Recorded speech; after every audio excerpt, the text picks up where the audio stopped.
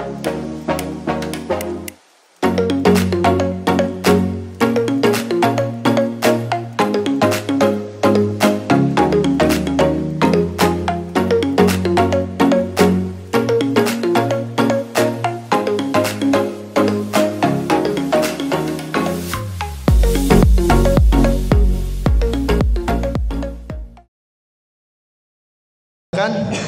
sebelumnya saya punya tayangan ya tayangan video nih.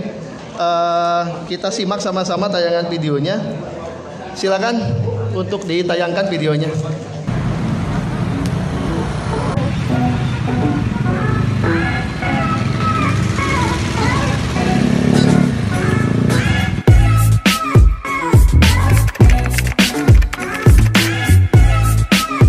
Dek, eh, sudah punya klip belum? Ya, Udah, ya? ya. udah. Eh, punya klip nggak? Sudah masuk DPT belum? Sudah, Pak.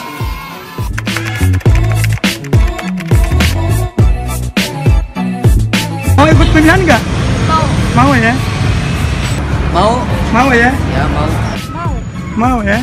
Pastikan untuk ke TPS Pasti, Pak.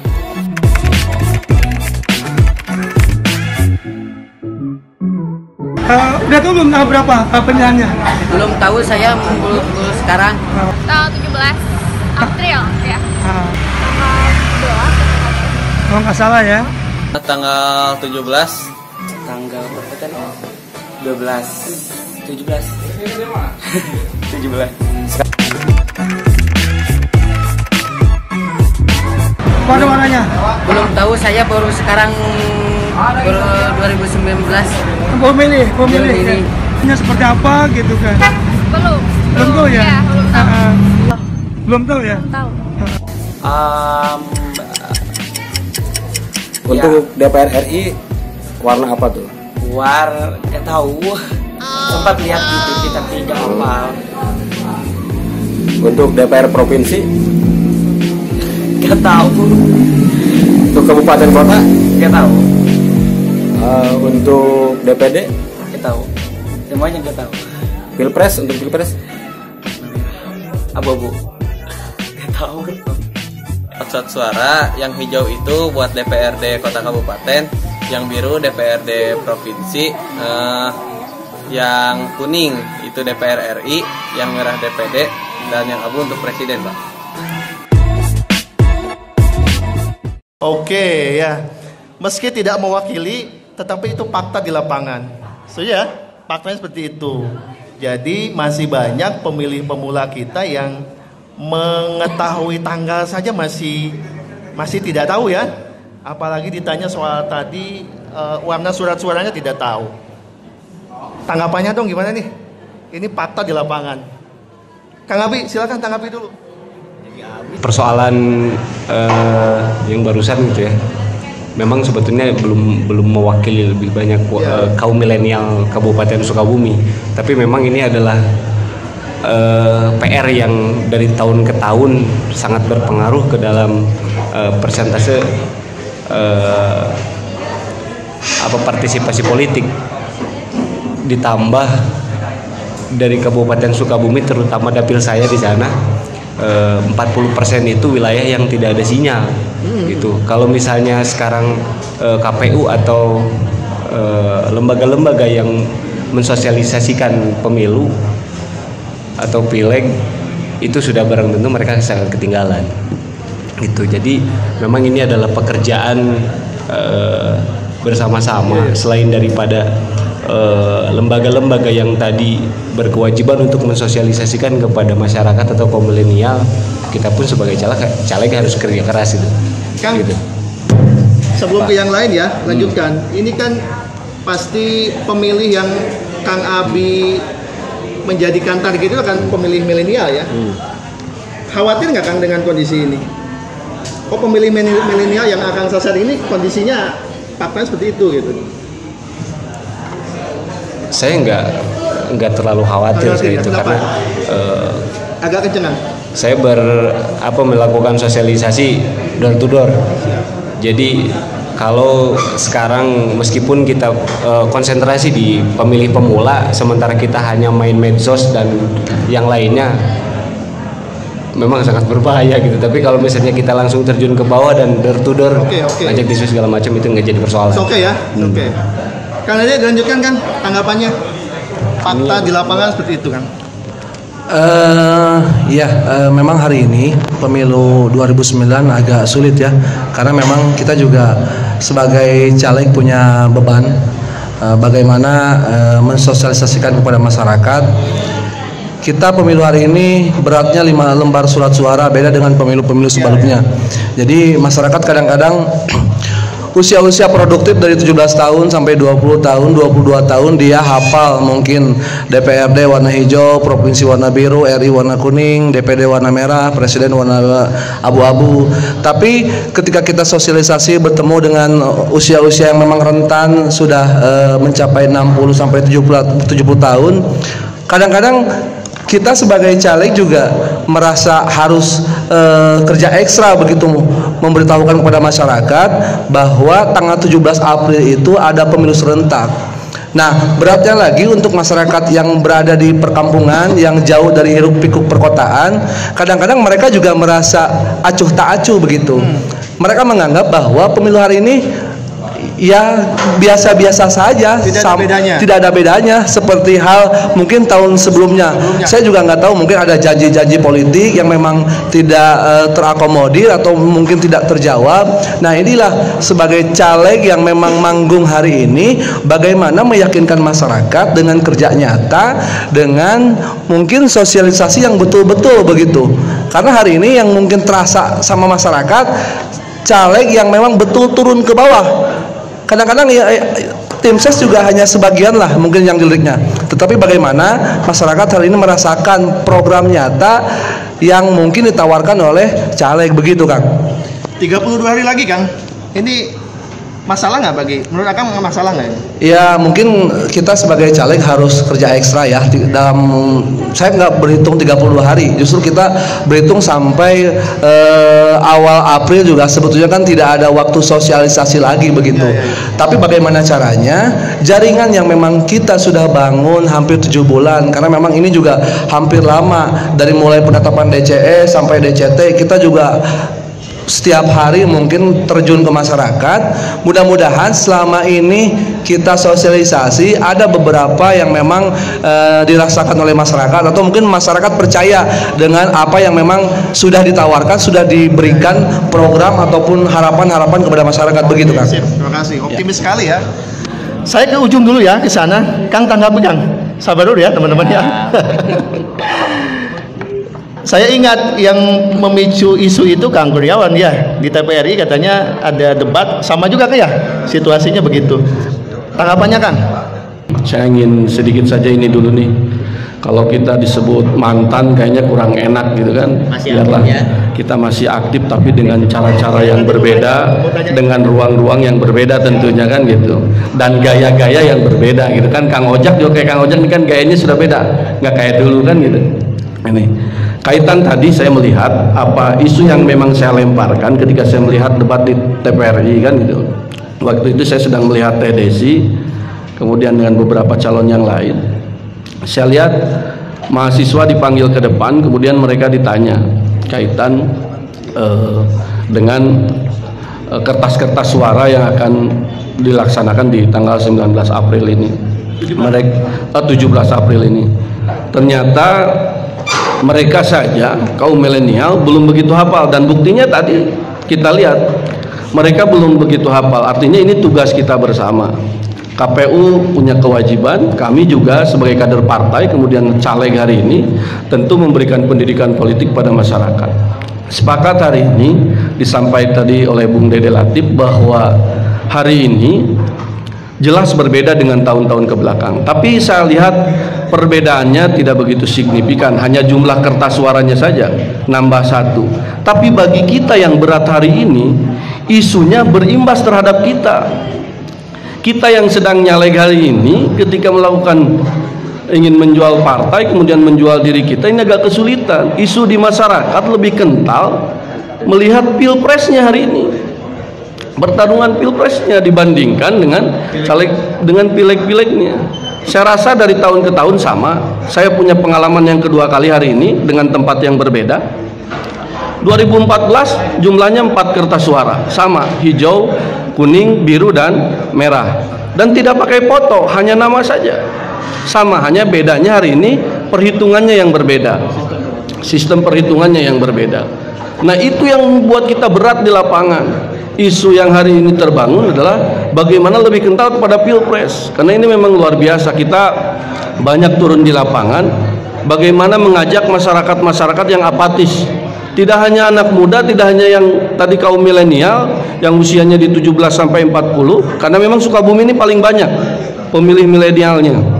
Kita sudah lakukan dari tahun ke tahun bahwa yang usia 17 sampai 40 ini paling banyak di Kabupaten Sukabumi jumlahnya. Banyak mereka yang apatis petani sudah jelas lah. Mereka mengatakan wah kami katanya untuk apa milih? Mendingan jadi buruh tani pada saat 17 April nanti. Dapat upah kan tidak ada yang bayar kan itu tapi mereka lupa bahwa hari ini ya seperti buruh misalkan mengatakan ah kami masa kia-kia kene gajinya kan itu Tetap, tapi mereka lupa bahwa kebijakan itu semua ada di dalam politik Nah, mereka lupa itu maka kita turun ke bawah mengajak masyarakat untuk partisipasinya ini lebih besar. Di samping kita tentu menjual eh, partai bagaimana program-program dan termasuk kita. Tadi Bung Dede sudah mengatakan banyak caleg-caleg yang dulu pernah punya janji.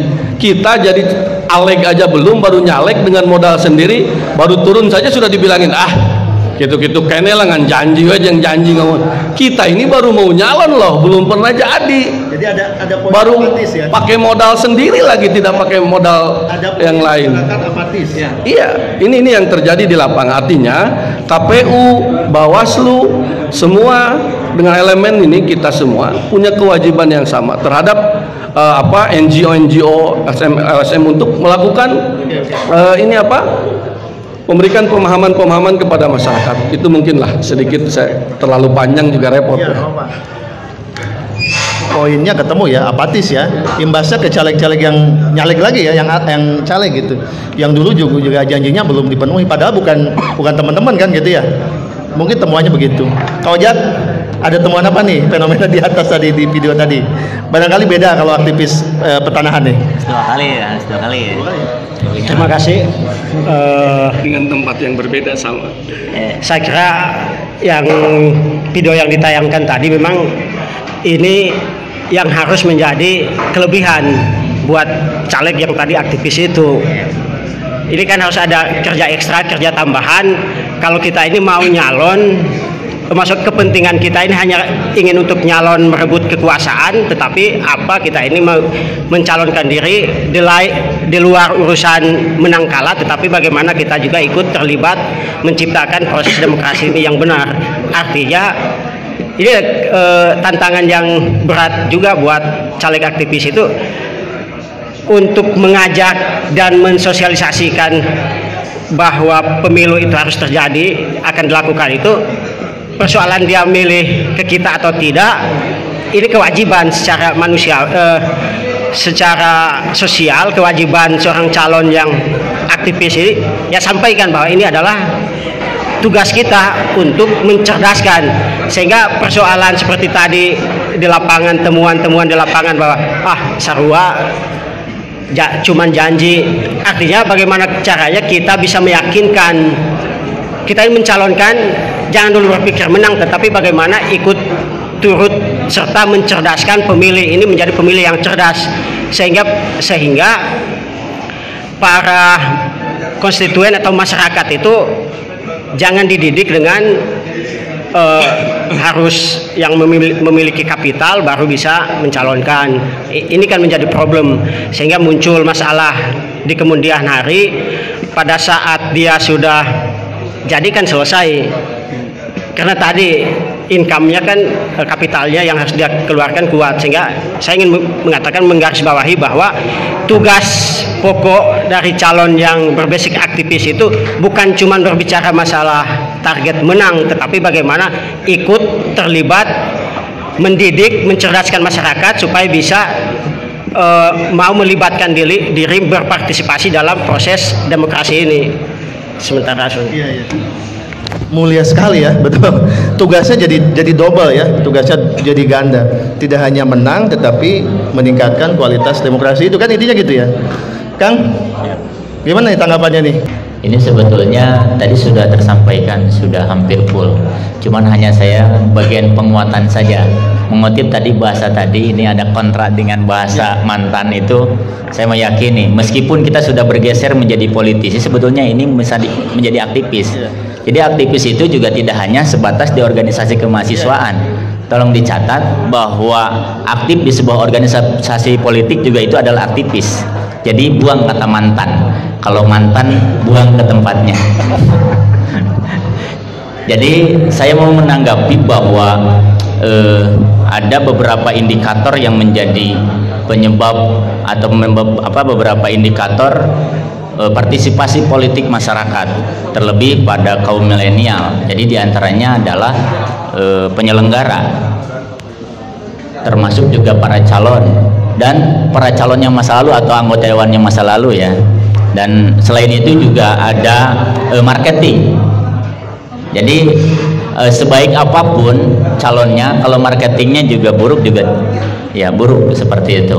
Sehingga yang tadi sebetulnya betul hampir ya 80% menjadi gambaran di lapangan dan ini menjadi PR kita semua yang betul-betul harus eh, kerja ekstra tapi juga disesuaikan dengan tingkat kemampuan.